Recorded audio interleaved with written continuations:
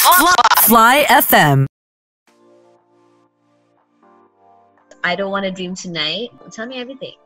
The song is basically about a dilemma between like whether I want to sleep or I do not want to sleep because it's like going to sleep makes you get your rest and it makes you feel good, right? But at the same time, um, there's no point of me sleeping if I'm only gonna dream about like terrifying things. So it's something that it's out of, out of my control in a way.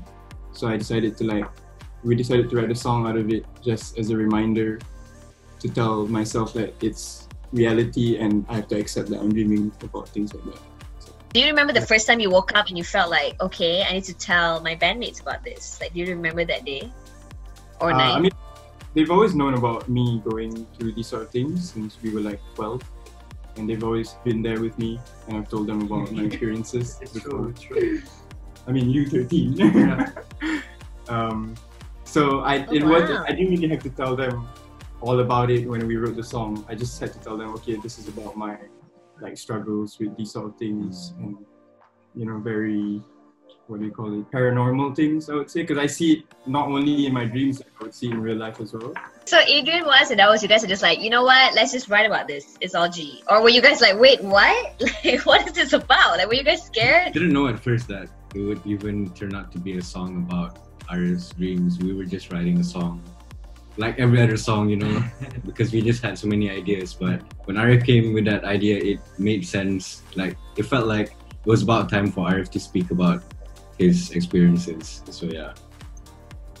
you could expect different types of like directions that we're going for in our future songs. So it's not going to be really like sweet or very, you know, like happy songs anymore. I mean, it's going to be a mixture of everything basically. So there's more to expect from us. I feel it. what we're looking at, I mean, if you go to your Instagram, I mean, if it's it, it is basically like a castle in a purple, like cloudy darkness. I'm looking at this right now over here. So, is this what you see in your dreams, Arif? Is this what you see? Is that why you want to sort of visualize this one in your artwork? Yeah, a funny story about that is that um, we worked with our director, Takif, and that was his idea. But what was funny was that I dreamt about something similar with the same uh, vibe, with the same environment, like that kind of very, I would say, Disney Channel looking haunted house kind of thing.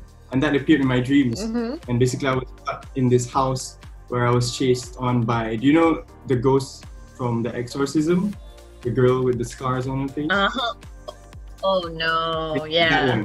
I was chased on by that one, but was what was funny is that she was a very nice lady in the dream, which made it scarier for me.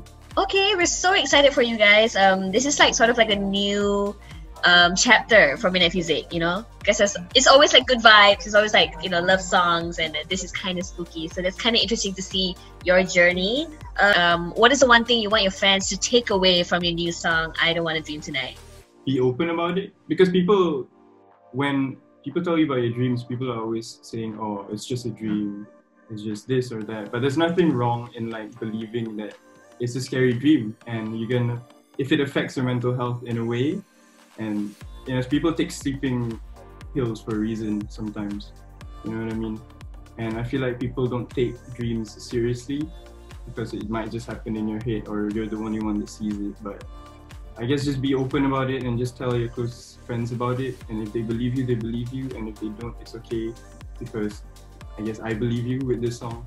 You know, if anyone's struggling about the same thing, like I just want people to know that like I hear you and I understand what you're going through.